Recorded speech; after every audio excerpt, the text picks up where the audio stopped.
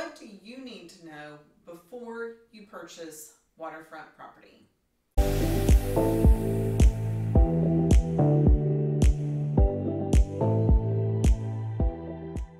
Recently, I had a client that was looking at purchasing a property on Lake Austin. And it's one of the homes that sits up high on a hill. And the neighbors on both sides had boat docks and had trams down to their boat docks.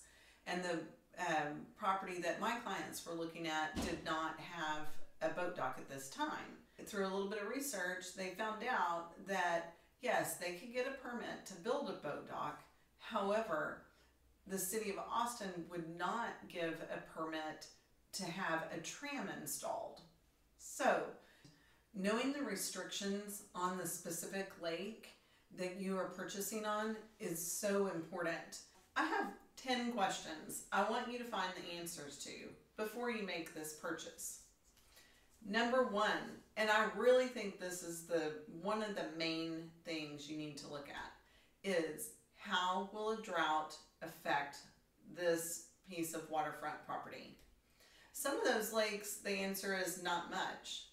And then some, like Lake Travis, is a lot. So on Lake Travis, there are portions of the lake where if you purchase on it, you may have five years with no water. And then there are other portions, such as like the main basin, where you will always have water. So know that one. Look on Google Earth. Google Earth is your friend when it comes to purchasing waterfront property. Another question is, is there actually water access from this property? Just because it's waterfront doesn't mean you can actually get down to the water. And you will see this often on Lake Travis and Lake Austin. Now, if you are perched up high on a hill, like where the oasis is, I mean, you're not going to get down to the water. However, there are lots where you can have a tram built or a lengthy bit of stairs. But once again, with that, you need to know is that allowed on that lake? And the answer is not always yes. And don't assume just because the next door neighbor has a tram that a tram can still be built because there may be new regulations that have been implemented. Lake Austin, they're not allowing new trams. Lake Travis, they still are. Will that remain the same? I don't know. It may change. Question number three. If the property does not already have a boat dock or if the boat dock is old and dilapidated and you know that it's going to need to be rebuilt, you need to know about what are the boat dock restrictions for that lake. Another question is, can you even build a boat dock? Because on lakes such as Canyon Lake, you can't even build a boat dock because it is a stipulation there by the Army Corps of Engineers. So if that's a deal breaker for you, then that's not a lake that you want to purchase on. If you want a really large boat dock, Lake Austin definitely has restrictions. And I believe that it's based on the amount of waterfront that that property has. And they calculate how the size, the width of the boat dock can be. So if you're going to have two large boats, can you put two slips in there? If you want to have a second story, is that going to be allowed?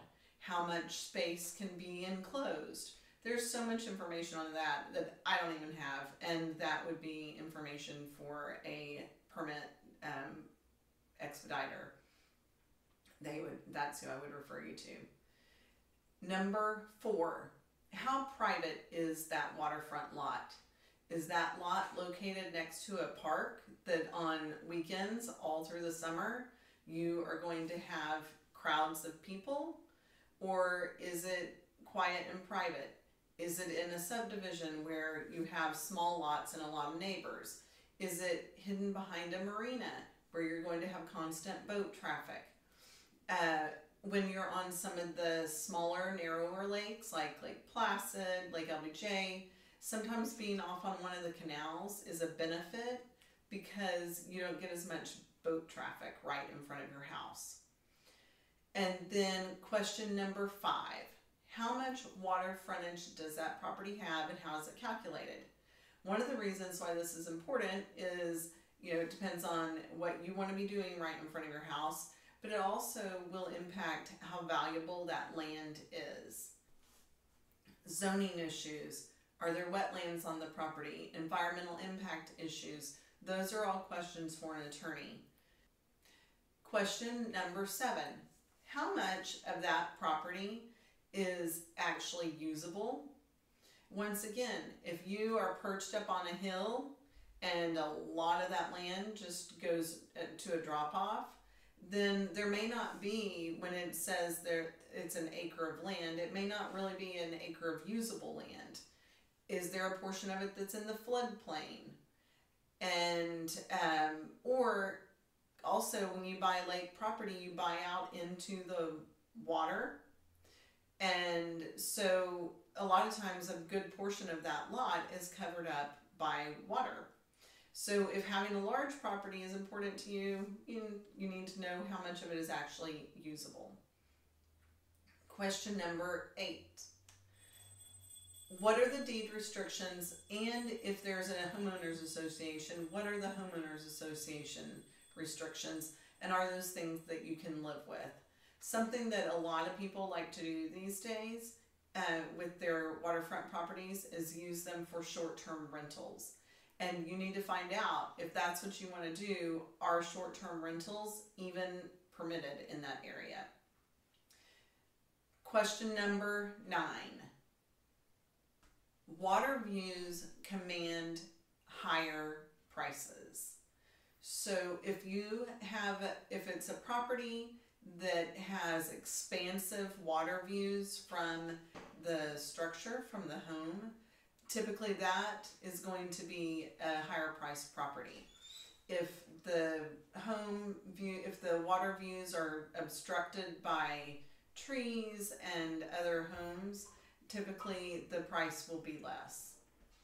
Number 10, you need to be aware that different lakes have different issues.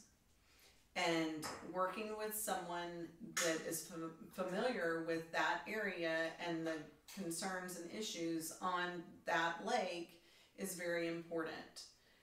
As I've mentioned, Lake Austin has a lot of restrictions when it comes to the size and type of boat dock that can be built, or if they will even give you a permit to have a um, tram installed.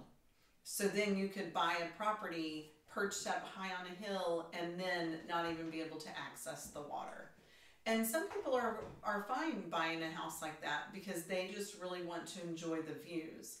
However, if you are purchasing that waterfront property so that you can actually get down to the water, that's something you need to know. If you have any other questions about purchasing waterfront property in Central Texas, please give me, reach out to me, and I'd be happy to answer some questions for you. If this video has been helpful, please like it. And if you would like other information other and watch any of my other YouTube videos, please subscribe. Thank you.